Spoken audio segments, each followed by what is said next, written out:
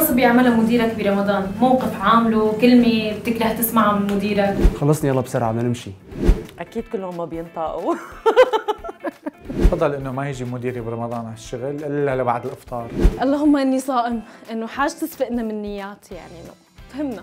احكي لي عن أنواع المدراء اللي بتواجههم خلال شهر رمضان. العصبي اللي خلقه هون واللي لسانه زفر على طول بسبسب. هدول أكثر شيء مرقين علي النكدي آه، المدير ال- اللي بضل خلقه براس مناخيره وفي عندك آه، الأصعب هو المدير اللي بيجي مو طايق حدا. بحب المدير الفرفوش هيك اللي أول ما يجي كل عام وأنتم بخير رمضان كريم علينا وعليكم.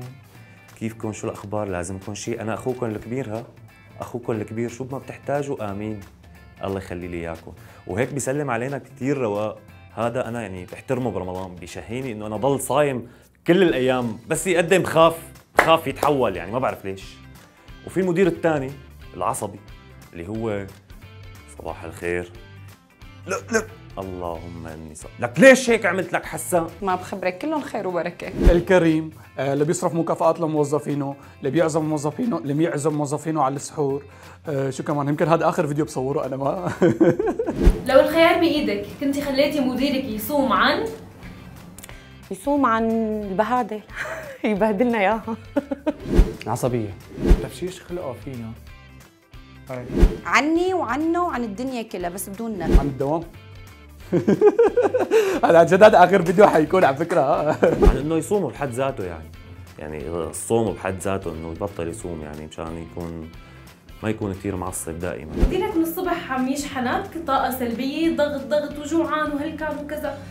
بتعمل معه خير أو بتكبه بالبحر؟ هلا بصراحة بعمل معه خير إني كبه بالبحر. بس لأنه رمضان بعمل خير. لأنه الدنيا رمضان ورمضان كريم علينا وعليكم. بعمل خير. بحاول إني أعمل معه خير بس أكيد رح كب بالبحر. بحب البحر وبقول له اللهم إني صائم.